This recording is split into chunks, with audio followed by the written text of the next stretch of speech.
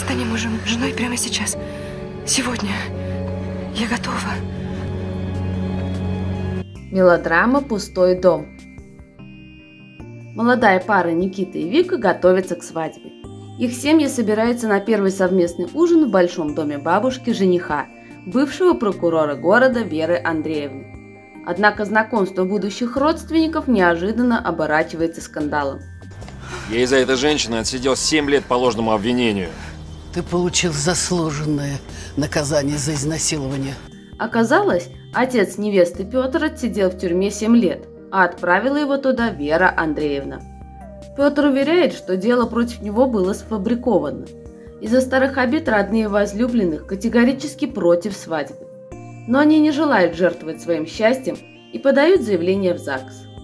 Никита и Вика и не подозревают, что есть еще одна тайна, которую все эти годы хранила мать Никиты. И она способна разрушить не только их жизни, но и жизни всех их близких. Может, нам пора рассказать ребеночку правду про наше святое семейство. Эту мелодраму вы можете посмотреть по ссылке в комментариях. Приятного просмотра! Век в твоей жизни будет немало.